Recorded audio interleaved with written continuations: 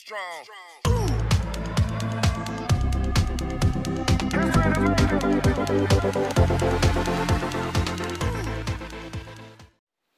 Hi, everybody. Miss Cleo's here. Are you ready to get started? Let's get started. So, hello, everyone. Miss Cleo here. So, our lesson this week is Abraham offers Isaac from the book of Genesis, chapter 22, verses 1 through 19. So, I'm going to send you over to Miss Latoya for our memory verse and prayer, and I'll see you right back here. Hey guys, welcome back. It's time for our memory verse. Hey. So this week I'm super excited. We're in the book of Hebrews, chapter 11, verse 17. But first, I have a vocab word for you. Our vocab word this week is offered. That means to give something up. So maybe you have a sibling or a cousin or a friend and you want to give them something. You want to offer up your doll to them. That's offered. Let's get into our verse.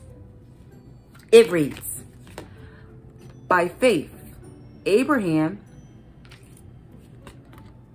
when he was tested, offered up Isaac, and he who had received the promises offered up his only begotten son. That is our verse this week. We're in the book of Hebrews, chapter 11, verse 17. See you next week for a verse and some vocab words. Bye. All right, guys, let's do our prayer to start our lesson. Please bow your heads and close your eyes. Dear Lord, thank you for another Sunday to hear your word. Thank you for Miss Cleo for sharing the word. Praying for our children. Allow them to share something they learned today with someone else. We thank you in advance for all the blessings, healings. Amen. Back to Miss Cleo for our lesson for today. So, welcome back, everyone. So, as I said, our story this week is Abraham offers Isaac, and it's from Genesis chapter 22, verses 1 through 19. Now, last week we learned a little bit more about Isaac.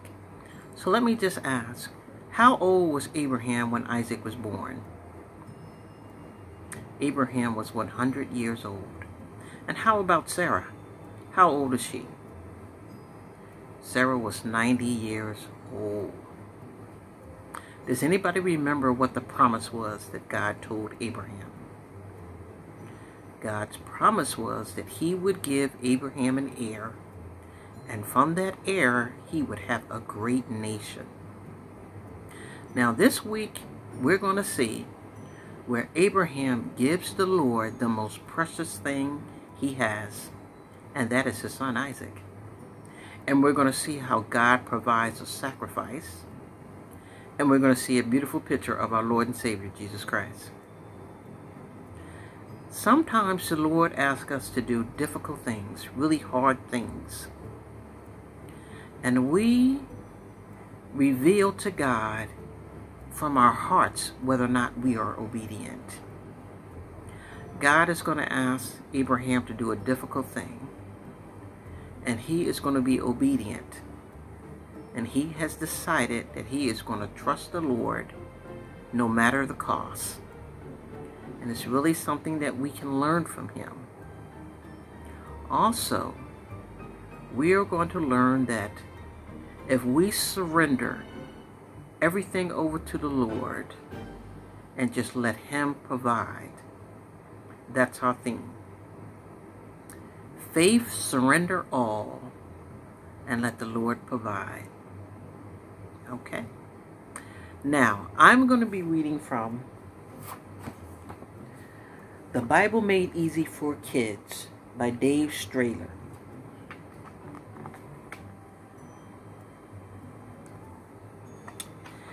And this is titled Abraham's Faith is Tested. When Abraham was 100 years old, his wife Sarah had a baby boy just as God had promised. They called him Isaac.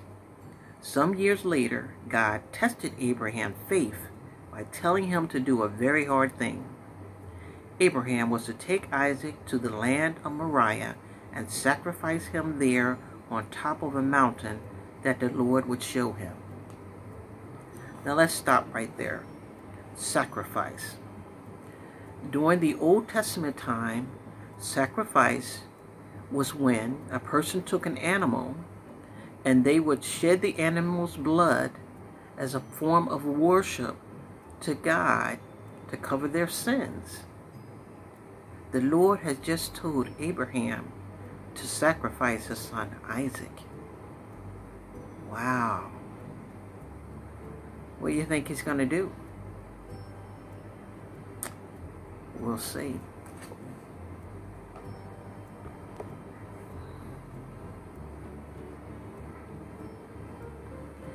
Abraham and Sarah waited a long time to have a child. Isaac now, at this time, is no longer a child. He has grown up and he is in his 20s. And now the Lord has just told Abraham he wants him to sacrifice his son to him. Let's read on.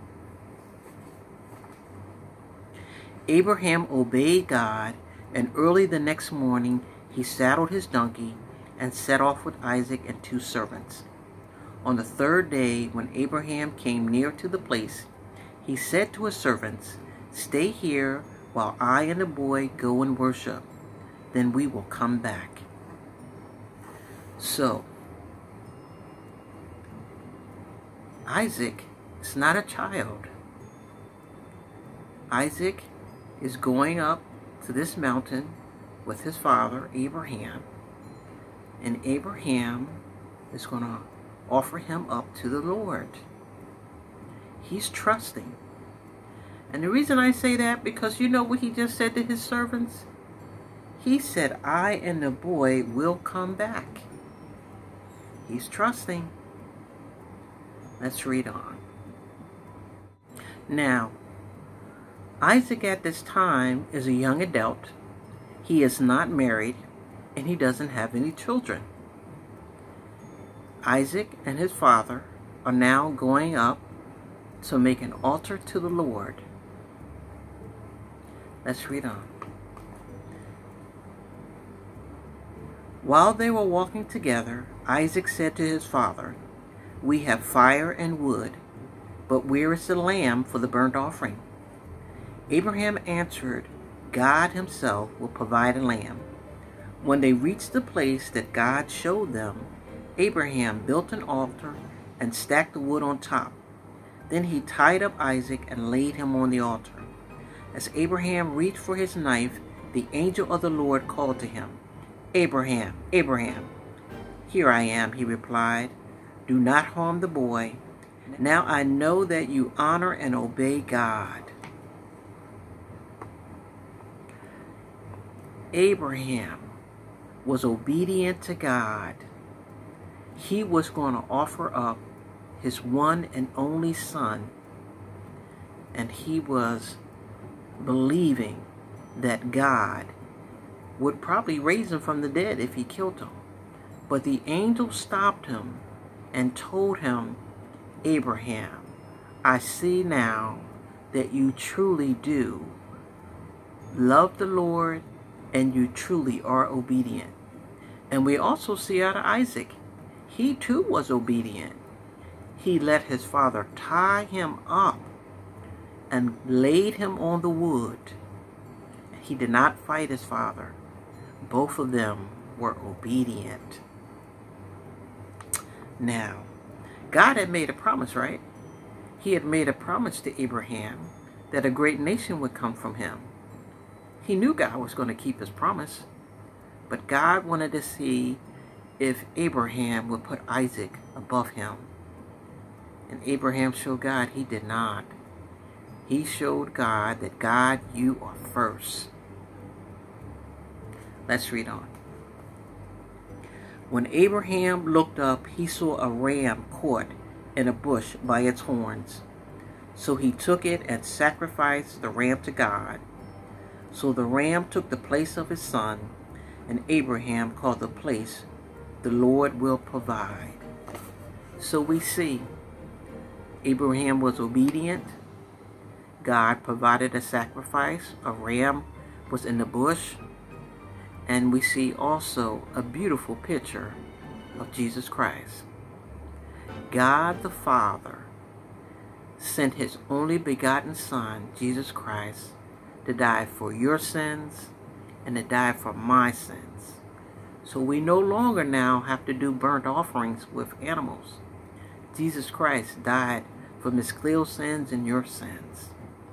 And God showed his love for his son, Jesus, and allowing him to die for us. Well, that's the end of our story for today. Hope you enjoyed it. I'll see you again next week. Well, everyone, that's it for today. I'll see you again next time. Bye-bye.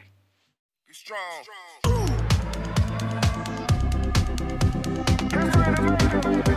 strong.